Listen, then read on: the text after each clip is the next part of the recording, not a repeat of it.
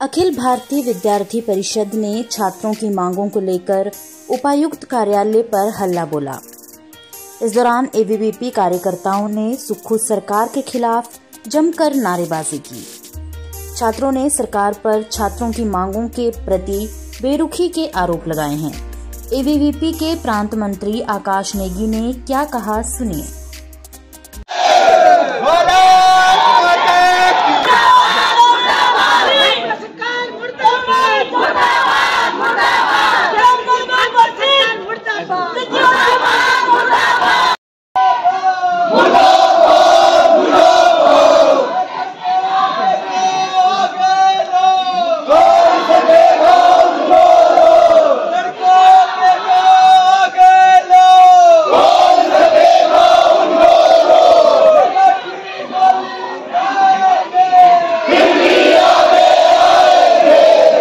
भारतीय विद्यार्थी परिषद आज शिमला के साथ साथ पूरे हिमाचल के हर एक जिला केंद्र में प्रोटेस्ट कर रही है। हम सभी जानते हैं विद्यार्थी परिषद ने इसी माह एक तारीख से चाहे वो ज्ञापन के माध्यम से हो, चाहे वो प्रधानाचार्यों के माध्यम से, शिक्षा मंत्री को ज्ञापन देना हो, चाहे भूख हड़ताल के माध्यम से, हमारी जो छात्रों को लेकर मांग है, चाहे वो एस इलेक्शन को बहाल करना हो, चाहे यूनिवर्सिटीज के अंदर रेगुलर अपने वाइस चांसलर की नियुक्ति हो, चाहे वो 112 जो बिगा ज़मीन जो हमारी एग्रीकल्चर यूनिवर्सिटी पालमपुर से ली गई है, और चाहे वो हिमाचल में कहीं ना कहीं बढ़ता हुआ नशे को ऊपर रोक लगाने की डिमांड्स को लेकर के, विद्यार्थी परिषद एक पिछले एक महीने से डिमांड चार्टर जो है शिक्षा मंत्री और प्रदेश के विभिन्न मंत्रियों तक पहुँचा रही है। लेकिन आज भी हम देखते हैं कि उस, उसके ऊपर कोई एक्शन कहीं ना कहीं सरकार नहीं ले रही। बल्कि कहीं ना कहीं अगर हम बात करें हिमाचल के दूसरे विश्वविद्यालय की जब विश्वविद्यालय मंडी में खुला जब सरदार पटेल यूनिवर्सिटी खोली जाती है तो कहीं ना कहीं खुशी की लहर है वहाँ के छात्रों के अंदर लेकिन आज उस यूनिवर्सिटी का किस प्रकार से गला घोटा जा रहा है किस प्रकार से उसको कोई ग्रांट नहीं दी जा रही और किस प्रकार से दायरा बताया गया